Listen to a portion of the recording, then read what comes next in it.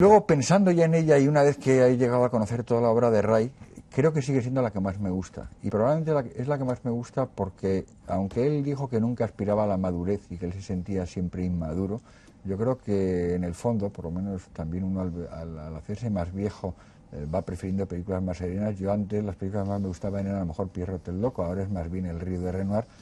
Eh, es la película de Ray más madura, más serena más eh, unida al clasicismo con el que por otra parte estaba siempre en ruptura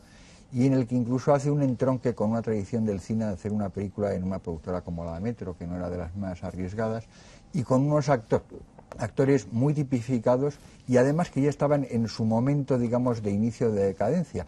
Una decadencia que está casi en el eh, borde con la esplendorosa madurez pues yo creo que Robert Taylor maduró bien y se endureció, que era un poquito a galán blanco. Margarita. Y, y, luego, por otra parte, en cambio, Sid Charis, poco después estaba ya un poco venida a menos, pero todavía tenía en ese momento un esplendor unido a una cierta amargura. Entonces, esta historia, que es un poco la misma historia de Johnny Guitar, de Busca tu refugio, etcétera, de una pareja de